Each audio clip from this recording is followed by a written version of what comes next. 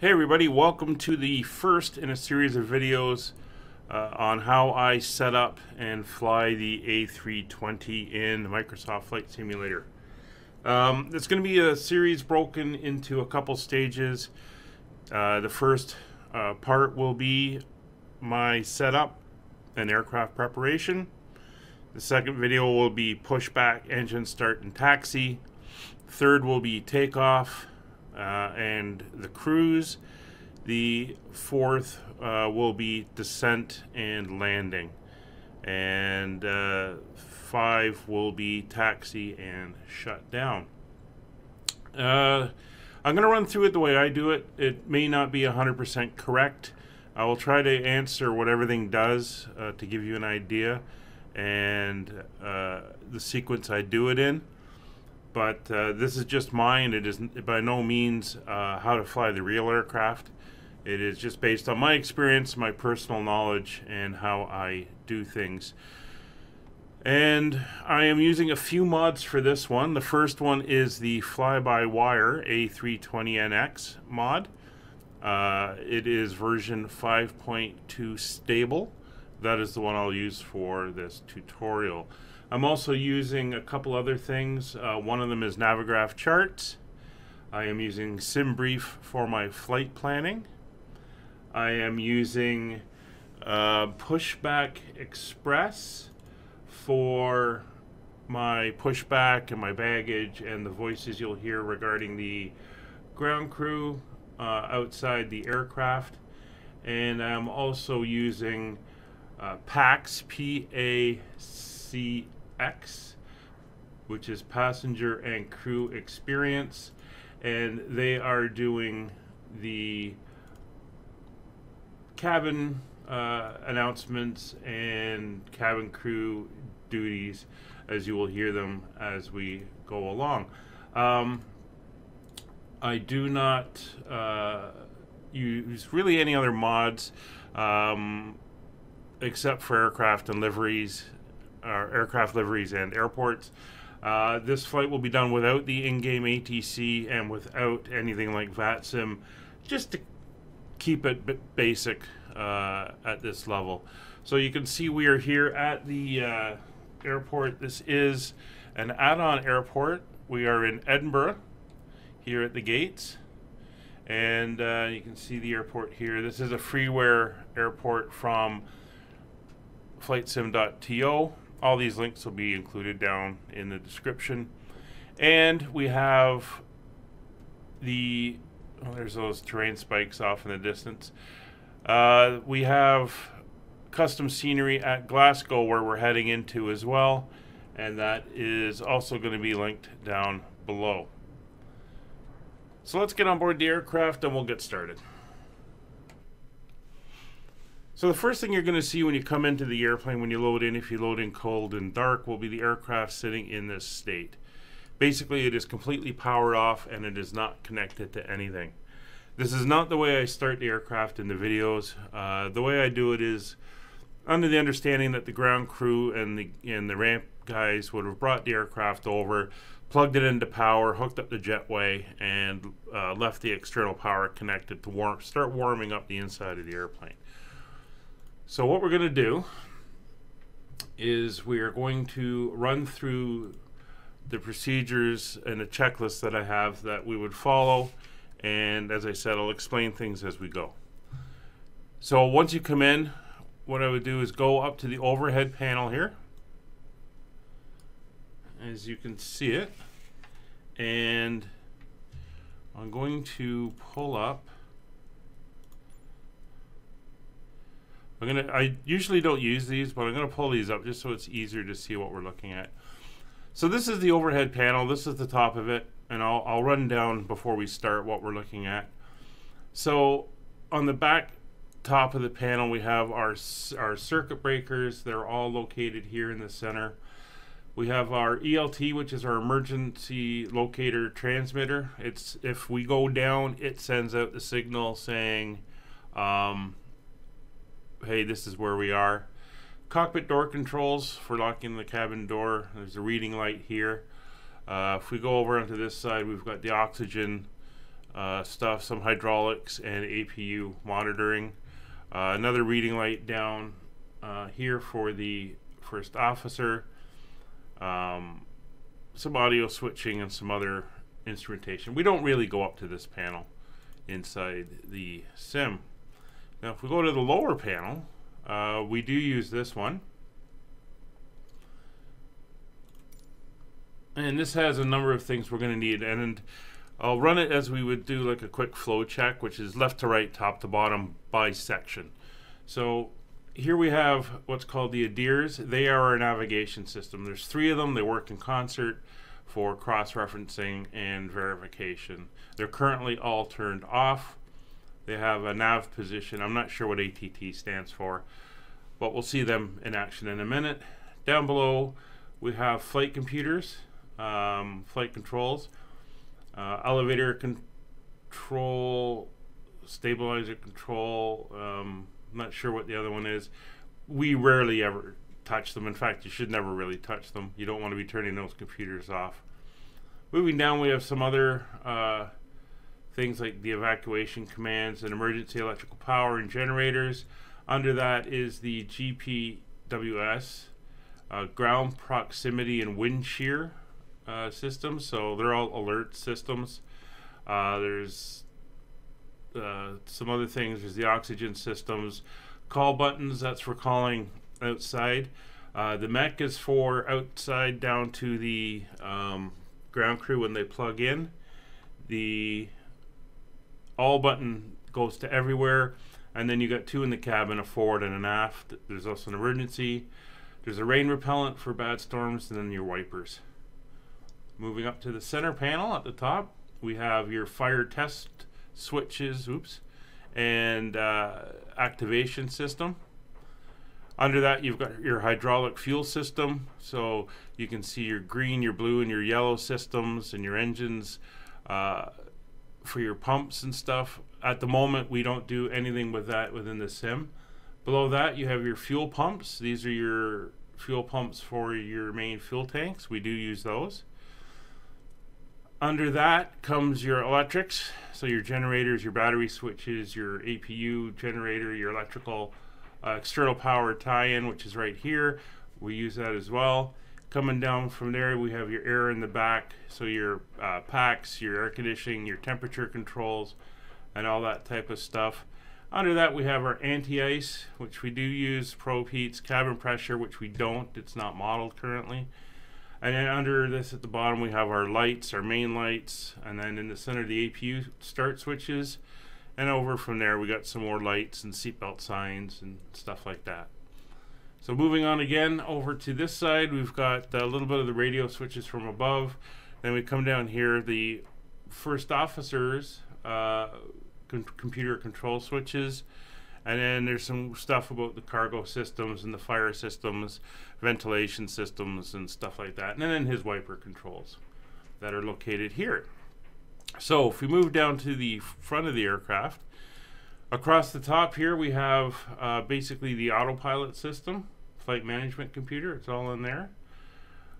Down here we have the displays, the main displays, the navigation displays, the primary flight displays, the ECAM displays, and then on the bottom pedestal, just very quickly, we have the two computers where data is entered into, the main computer control switching. Uh, we have the navigation and comms radios on either side of the throttles, throttles in the center, trim wheels on either side. Moving down, we've got light controls, the weather radar under here. If we go to the other side, we have the uh, transponder on this side.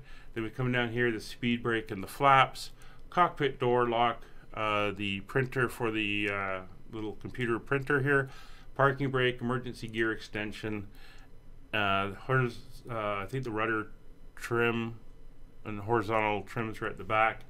And then there's the door lock switch, which is right under the, uh, uh, right in front of the, the seat here, right here.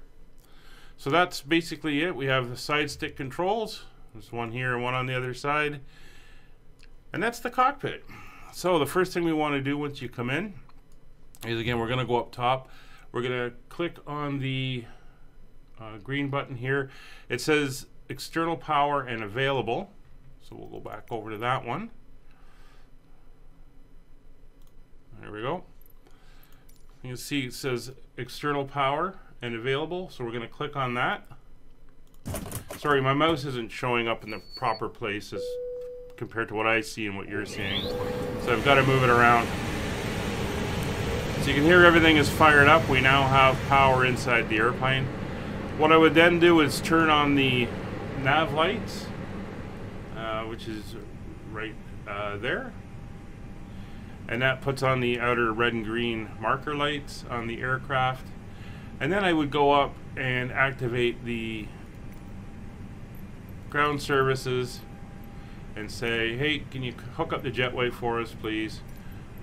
And they will do that. I also have the voices for all the ground services and stuff turned off. And what that leaves you with is this. The aircraft is ready to go. The marker lights, nav lights are on. And you have the jet bridge coming in and connecting. And this is typically how you would see the aircraft sitting at the gate when you approach it from the inside. Powered up, kind of ready to go. So I have a checklist that I use when I go through the aircraft, and uh, I would recommend going online, finding a checklist you like and using. Um, there, there's a variety of them out there.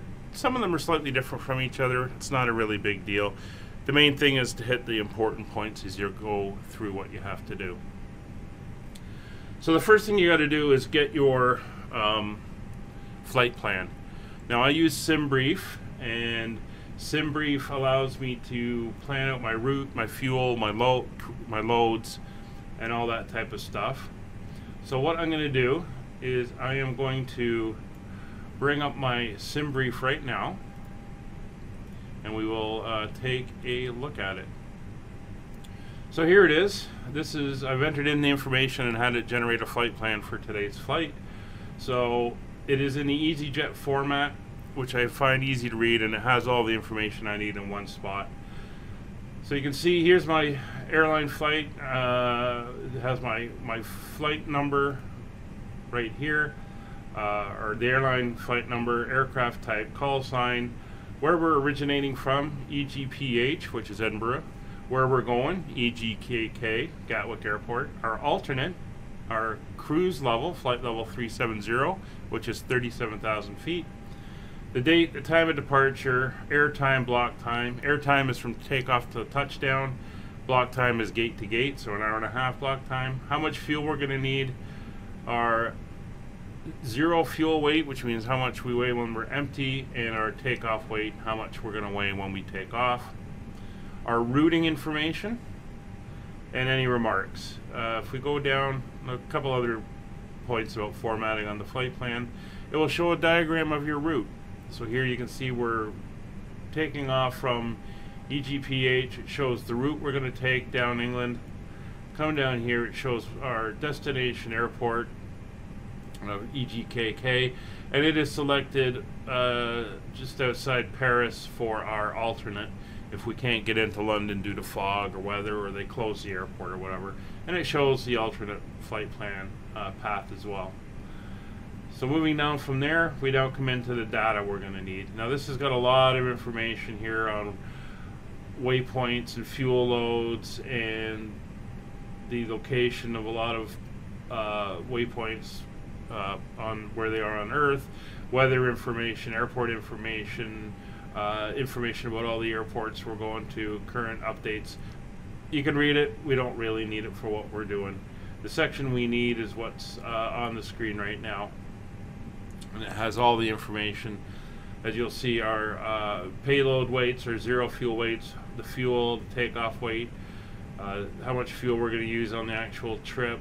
Uh, there's our routing information, and uh, some other stuff. So I'll show you what we need for setting up the airplane as we go. So that's the flight plan. We're also going to need to know uh, where we're going to be going on the airfield. First thing is where are we right now? So I use Navigraph charts. I find them um, very handy. They give me the information I need, not only airport diagrams and information, but also approaches and departures and all that type of stuff. So if we pull up the charts for the airport, we have, there we go. Here's where we are. This is Edinburgh Airport. It, the, it shows where our aircraft is currently.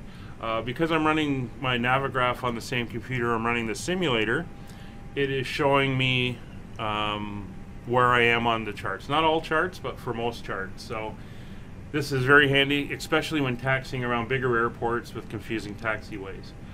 So this shows us that we are here at the terminal, shows the gate, and where we have to go. Today's flight is taking off on runway 06, so we are going to have to taxi down and get down to runway 06. If we were using ATC, the ground controllers would be giving us taxi instructions. In this case, probably something about uh, you know taxi Foxtrot Echo Echo One Alpha to uh, hold short Alpha One. If you don't have charts showing this, you're going to be confused about where you're going. Uh, so not only can you see where you're going, it also tracks where you are and helps with what you are doing. And there's other charts that'll come up as we go.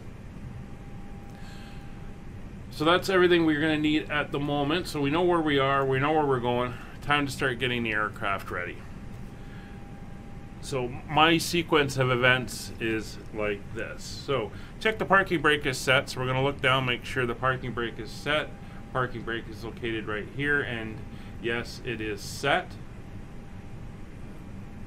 Give me a second. I'm just going to make another screen a little bit bigger so I can see it better. There we go.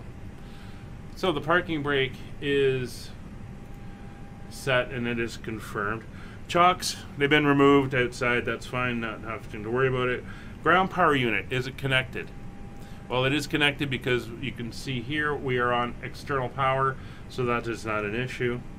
Throttle levers are at idle. We can look down and see that the throttle levers are back at the idle detent engine masters are off. These are the engine masters here. They provide fuel to the engines and, and start them up. They are in the off position. And I also check that my ignition switch is in the normal position. It's not on ignition and it's not on crank. Next up is the batteries. So we're going to come up here. The battery switches are located right here. They are the two white switches. Uh, white means off in the Airbus, so you, their batteries are currently off. So when we turn them on, not only will they charge, but they'll also help provide power, and it, uh, they have to be on for when you're operating the aircraft. So we'll turn the batteries on. There we go. If we weren't plugged into ground power, the aircraft would start up at that point, and then you're pulling on your batteries, and you don't want to be doing that for too long. Generator switches are on. Now the generator switches are the yellow ones here and here. They are showing fault. Now the reason they are showing fault is,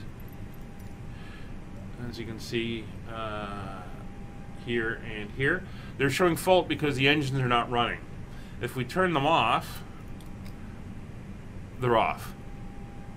But they're usually left on. They'll just fault when the engine's not running, and when the engine fires up, when it gets to the point it can pull off the generators, they'll just turn on. So that is fine. External power, we have confirmed it is on. That is not an issue. Now the ADIRS. So this is where we start aligning the system on the aircraft for navigation. So we're going to go over here, turn each one to nav in order, one, two, and three. You saw them flash slightly there. Now they're going to take some time to get up and going. In fact, if we look down here on the center panel, it says IR in alignment in seven minutes. So it takes time, and you cannot move the aircraft while you're doing this. It's got to sit where it is and uh, get itself all nicely aligned. So the next thing we'll do is we're going to go to our panels and we're going to turn up the lights because they are turned down a little dim. So all along here we've got little switches. Hope you can see them turning up here. And I turn them up to about 1 o'clock on the dials. So these two control these two and I using the outer knob on this one I turn down my weather radar to about half, just so it's not flooding the screen with data.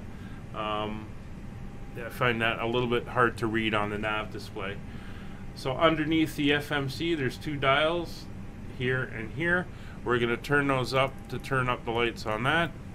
Then we'll come over, we'll turn up the first officer's, and I leave his weather radar full, just so I can see it from across the way. Down here on the pedestal is the two switches for the lights for the two ECAMs. We'll turn those up. I then go to the MCDUs, here and here, and there's a little switch there and there to turn up the brightness so I'll do that as well. Click it a few times notch up the brightness. We'll then come down a little bit further. The pedestal uh, lights are here so they come up. Oop, there we go. And then what I also do the two switches here and here are the upper lower floodlights. I just give them one click each just to add a little bit more light for when we're in shadow and stuff like that. So that is all the lights up. You can see the cockpit's now nicely illuminated. If it was nighttime and it was dark, what I would do is go to the overhead panel and right here you'll see uh, interior light dome. I would turn that on and if I go, that's dim and then there's a bright mode just helps at night when you're setting up the cockpit uh, in the dark. But I would always turn that off before I taxi to let my eyes adjust to the darkness outside. Last light we do on the overhead panel is right beside there, right there, and that is the overhead panel, and you can see how it just brightens everything up so you can see everything a little bit better. All right. So the lights are up. Now we start doing some other checks. Landing gear lever, which is located right there, is to confirm down. We look down here, flaps are confirmed up, spoilers are confirmed retracted. We take a look at our fuel quantity, which is displayed right here, and it is approximately what we are looking for. So that is good.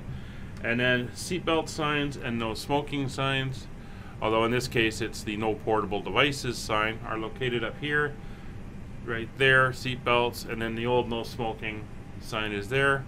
So we'll turn them on. There we go. And if we come back down, we can now see that the seatbelt sign and the no portable devices are on. So it's at this point we can tell the crew that they can start boarding the passengers. So we will do that. Come on on, uh, passengers.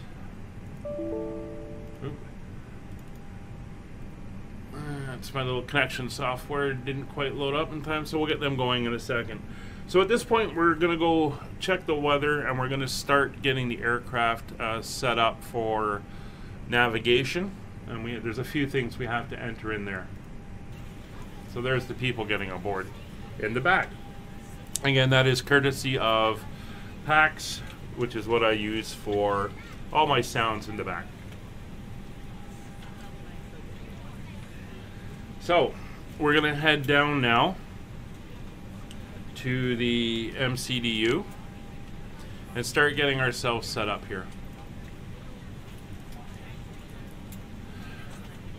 So the first thing we want to do is we want to load our flight plan into the aircraft. So we're going to go to our initialization page and I have the aircraft linked to my SimBrief account which means I will go directly and pull today's flight plan into the aircraft. So I'm going to uh, request my flight plan here on the request page. And it's pulling in my flight plan, and there we go. So you can see here on our from and to, uh, EGPH, which is Edinburgh, EGKK, which is Gatwick.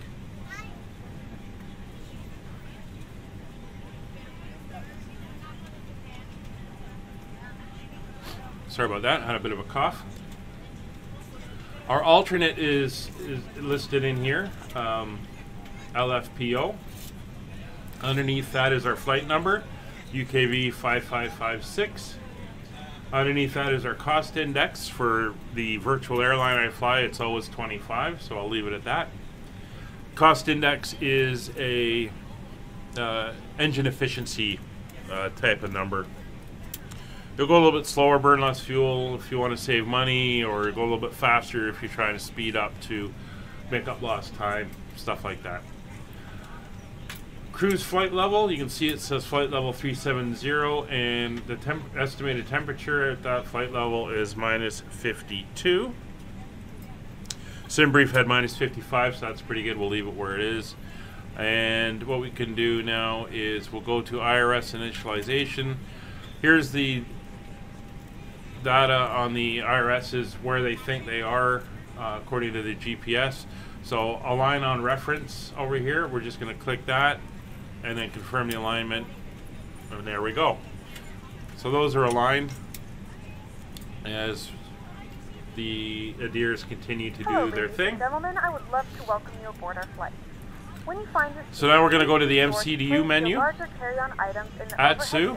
and smaller items underneath the seat in front of you. AOC, Unless you're in the front row, please. We're gonna go to weather items in the request, and it puts in our finding the location for your our departing and arriving airports. and we would be happy to assist So that's everything we need. the overhead bin is full after you put your We can also change the weather type the bin as a to to forecast or actual weather currently. items are put away, please clear We'll go with the current weather. in your seat to allow other we'll hit send.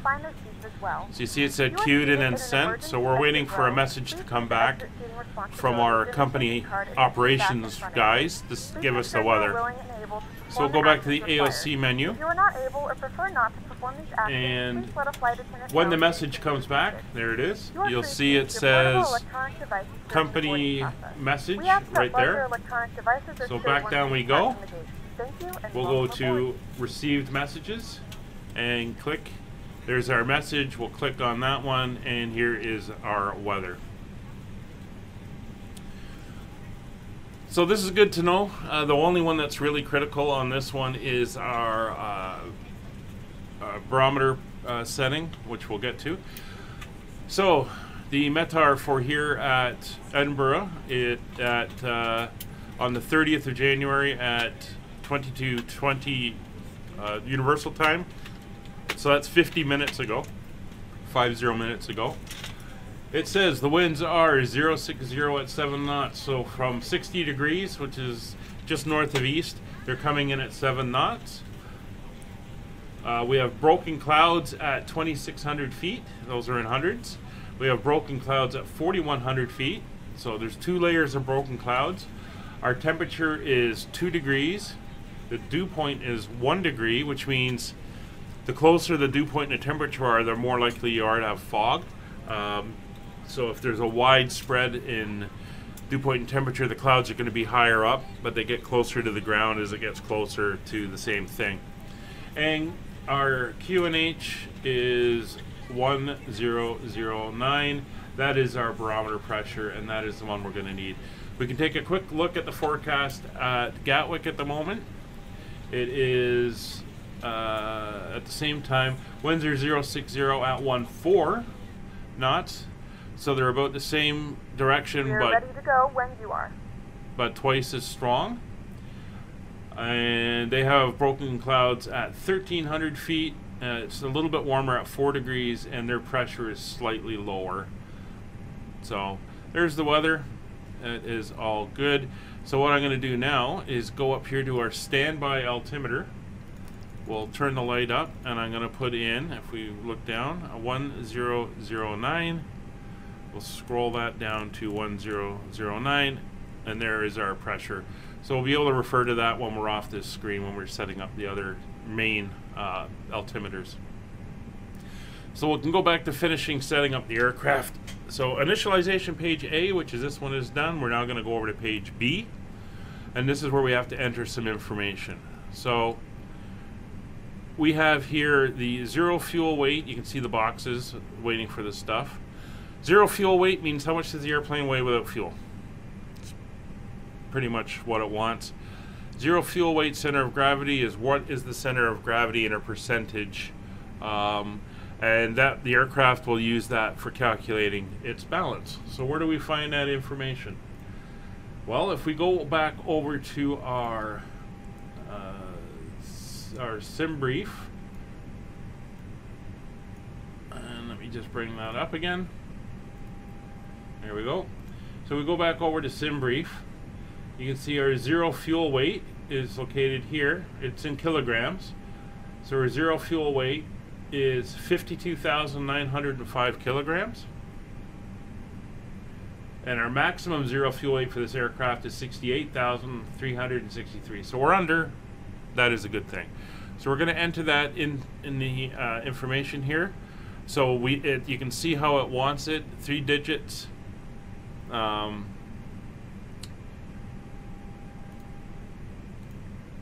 there we go. Three digits, and then a decimal place, which is fine. We only have two digits. It'll accept that uh, just as well. So our zero uh, fuel weight is 52.9. We then put in the slash, and now it wants the center of gravity. So when you're setting up the airplane in the menus before you load into the airport, when you set in your fuel and your weights, it will tell you what that center of gravity is. And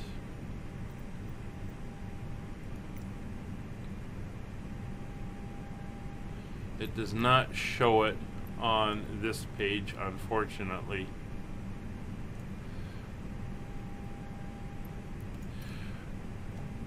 So you have to write it down once you've once you calculate it in there. I have written it down. It's 23.47, so we'll go 23.47. There's the information. We now click on the the button right here, and it will put it in. And there we go. Now the block fuel. I know the block fuel for the aircraft. I've already pre-worked it out. It's 6,048 kilograms. You know, pretty close to what it says there. So that becomes 6.0. So we'll put that in there. Now this is going to do some calculations based on our route and all the information it has.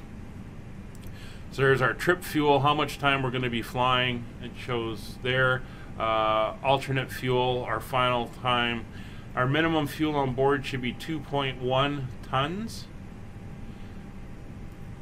And we can uh, go check. And we're also carrying an extra uh, 1.8 tons of fuel. Now, one other thing we have to enter in is what's called the trip wind. So if we go back over to our SimBrief, you'll see here is a thing called trip wind. What this does is all the waypoints we're going to, it looks at what direction the winds are estimated to be, and it calculates for the entire trip, averaged out over the distance we're flying, what is the effect of the wind. So in this uh, case, it's a T, which means it's a tailwind of 33 knots. So when you look at the entire trip, it's going to be like we've had a little bit of a push from behind at 33 knots for the entire trip. Uh, it could be a headwind, in which case you're fighting the headwind. So with a with a tailwind trip wind, we'll be a little bit ahead of schedule. With a headwind, we may be a little bit behind. So that's T33. So we're going to come back over to here and we're going to enter T33 and that goes into our trip wind right here. And it changes the calculation slightly. See, we're now down to 2.0 uh, on the fuel, which is all fine. So that's now entered in. So the next thing we're going to do is go to our flight plan. And we're going to enter our departure and arrival information. Departure, we know what we're doing. Arrival, it's a good guess based on the weather currently. So we come up here, we click beside the airport, and then we click departure. And now we get to select the runway we're taking off on. There's two runways in use here at Edinburgh, 06 and 24. Winds are out of the east, so we're going to go off on 06. And the departure we're using is the, just gotta find it here, the GOSAM 1D. So there it is, the GOSAM 1D, and that is, you can see it here, it lists the ones that are available, but that's the one I want. We want because that is where the route we're taking off and flying down, it's going to take us to that route. So we click on that. Uh, no transition, that's fine. And then we go down here and click on insert.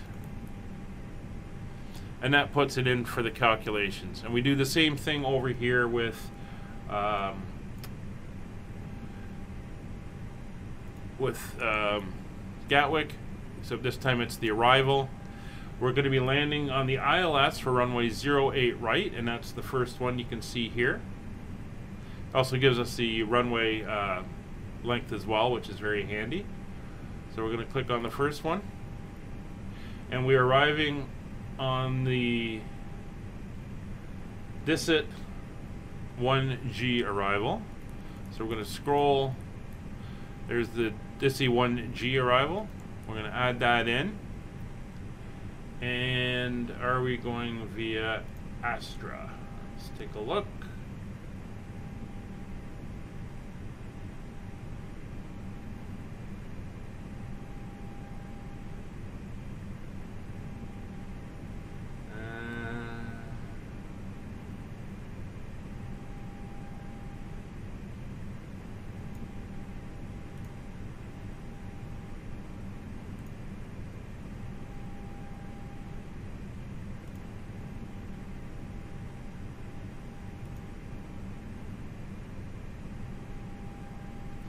We maybe. Well, insert it anyway, we'll take a look when we get closer. So that's in now. So one of the things we can do is we're going to take a look at our approach now. So we'll go into our Navigraph again. So here's the approach. It's the DISIT 1G. We're going to come in at uh, fly down to KIDLI, down to the Midhurst VOR, and then we come in around Holly. We make that left turn, and then we will be vectored in to come in for the runway. And you can see here in the center of the cross is where the runway is. Two things you'll notice on these charts is one, flight restrictions uh, for altitude. So they're, they're in the blue. So here at DISIT we have to be at flight level 200, which is 20,000 feet. At KIDLI we have to be at 15,000 feet, flight level 150 and it brings us down. Uh, it also provides some other information as well, such as our transition levels and stuff. And then we get the red warnings, like down here at Tolfaz and Holly. Those are speed limits we have to be at.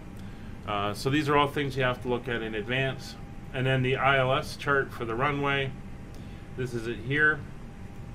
So if you look over here, you can see we go hollow, uh, Holly, and then we come around here to Willow.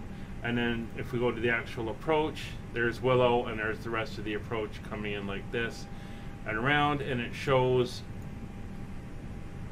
um, that's the initial approach.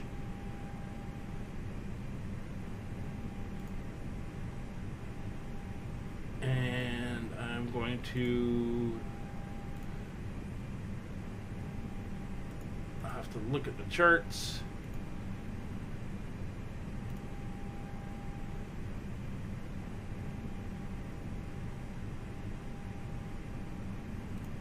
That's the one I want. That's the final approach here. And then once we come in on the runway, it shows us our, our glide slope, where we have to intercept that, and our information about landing clearance and when we have to be able to see the runway, and our missed approach, what happens in case we don't make it in, what the procedure is, and all that stuff. So that's all there, but that is for a little bit down the road.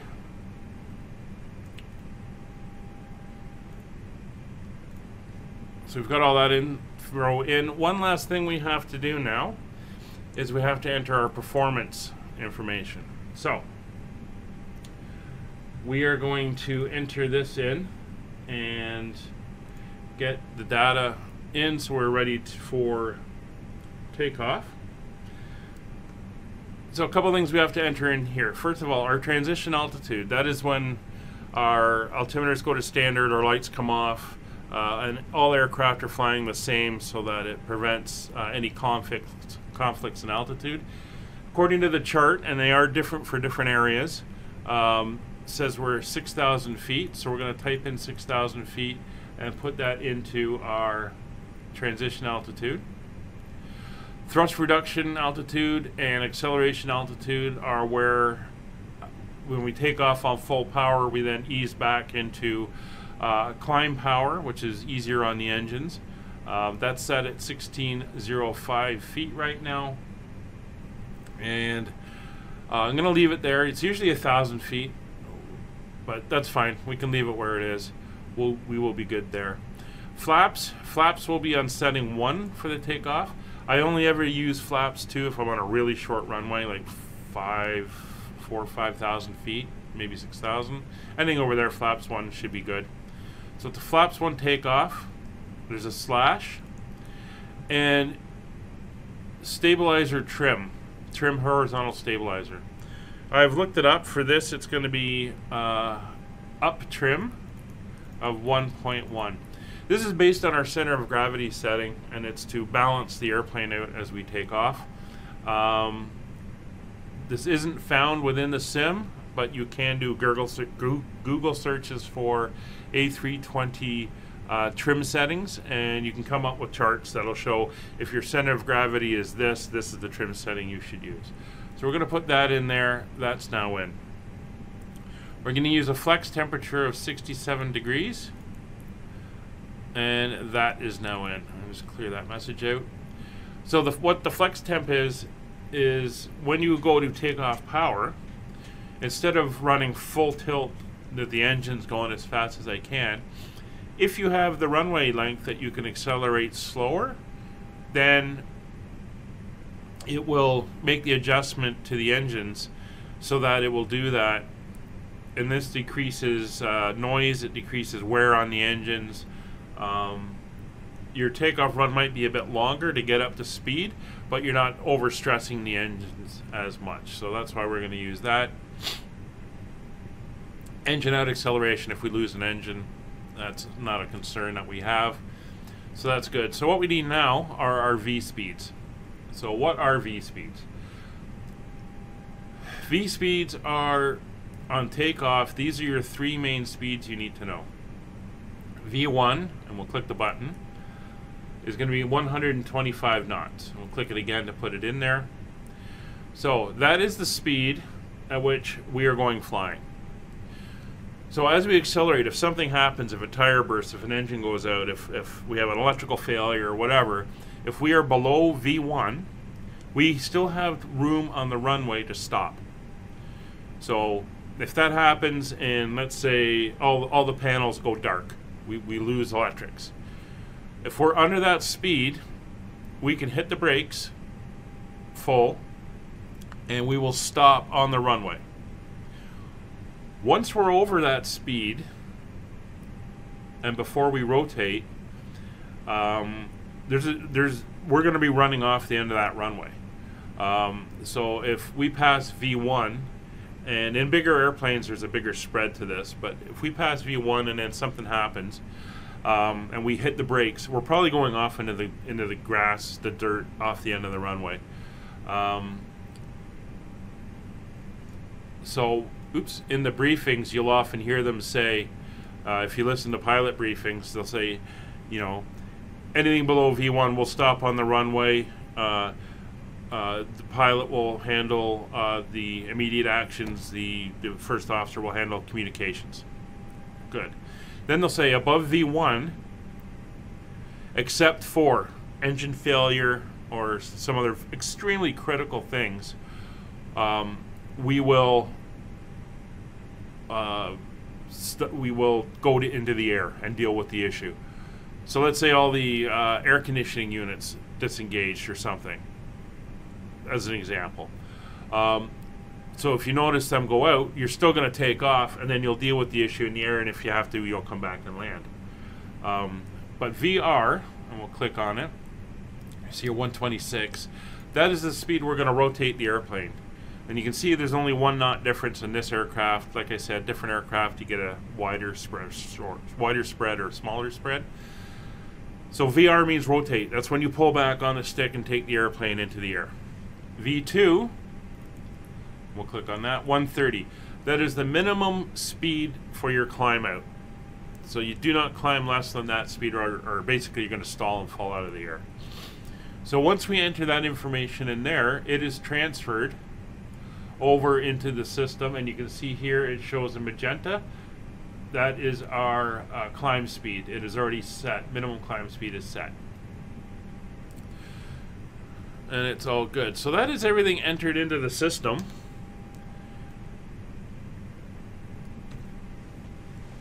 and usually, obviously, if you're not explaining, it would go a lot faster. You can see the ADIRs have now aligned, and everything, the nav display is now up.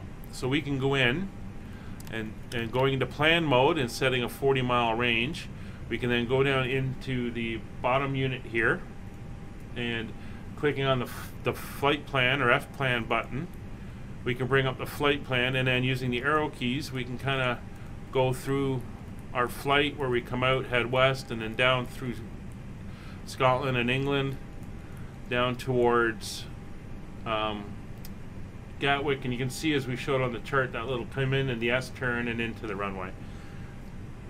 So everything is looking very, very good. So we've checked the weather, we've done flight services.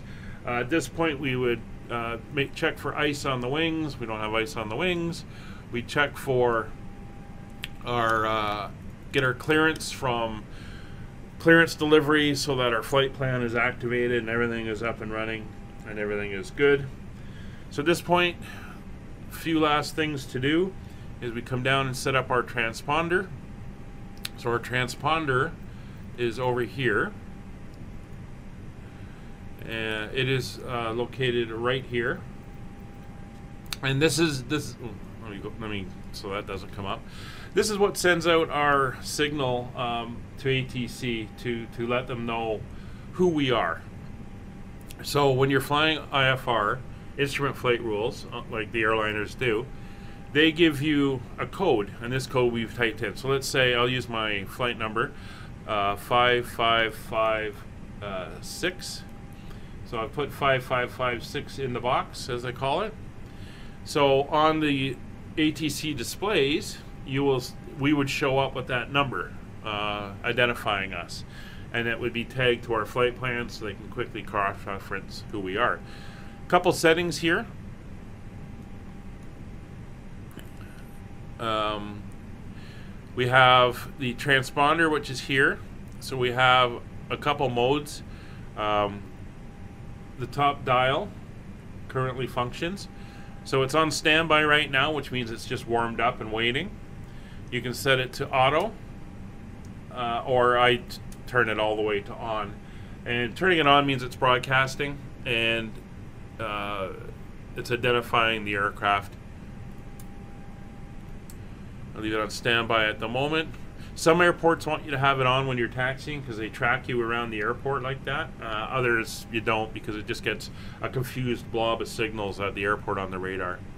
The other thing we have over here is what's called TCAS. And you can see that little group of dials over here. TCAS is Traffic Collision Avoidance System. So there's a couple settings here. The one on the right is uh, the standby uh, TA and RA. Um, TA, I believe, is threats, and RA is reactions. Usually put it on TA RA. It's the mo- it's the, the higher level of the two.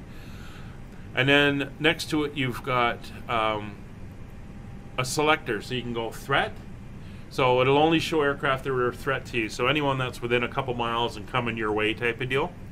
You have uh, the next one is all, so it will show everything, which in a real airplane can get kind of cluttered on the screen. And then you've got above and below, which is great because if you're climbing, you want to know what's above you, and when you're descending, you want to know what's below you. So in the climb, you set it for above, it'll only show what's above you as you climb up to altitude, and when you're descending, you set it to below, so it'll show what's going down. And then when you're in the air, you might set it to all or just threat uh, when you're in cruise and that's the TCAS system. So we will uh, turn that on um, before we depart. And what else do we have? So we're getting ready to go. We'll do the final overhead panel check. There's a couple last things we have to do. So we scan, do a final scan down the panel. As we come down, we'll notice a couple things. Crew oxygen supply. We'll turn that on so that the crew has their oxygen ready for them. Keep scanning down. Fuel pumps will wait. That's fine. Uh, air system, we'll turn that up for when we disconnect. We get the air going in the back. So these are the cockpit and cabin temperature gauges. We'll, I usually just set them about 12 o'clock. And we come down, we come down. And over here we have the emergency exit lights. Off, arm it on. We want to arm the emergency exit lights. And they are now armed. We'll now come down to the flight management computer here. This is our autopilot. Uh, if we go back and we look at our departure, and I'll bring it up again. So we look at our departure, we're going to be taking off out of Gatwick. You can see the purple arrow where we are. So we're going to be taking off to the right. We're going to loop around to the north, and you can start seeing altitude restrictions. So our first altitude restriction is over 5,000 feet, under 6,000 feet. And then it's 6,000 feet at Gao, and then we fly out and down at Gosam at 6,000 feet, and then we're released en route at Gosam. So we've got a 6,000 foot restriction that can be overridden by ATC, uh, but we're not flying ATC, so we are going to fly the published approach. If you are flying on VATSIM and there is no ATC online, it is expected that you are flying the published approaches. So if you are departing from an airport, if you're going into an airport, other traffic are going to be expecting you following whatever approach and procedures that you are on.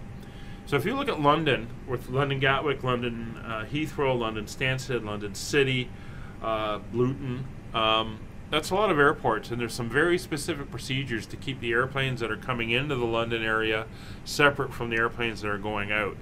So if you decide to do your own thing, you could be flying right in through other airplanes, and uh, it causes a bit of a mess. Um, so always fly the published procedure unless directed otherwise by ATC. But we have that. We know where we're going there, and it is all good. Alright, so we'll get rid of uh, that.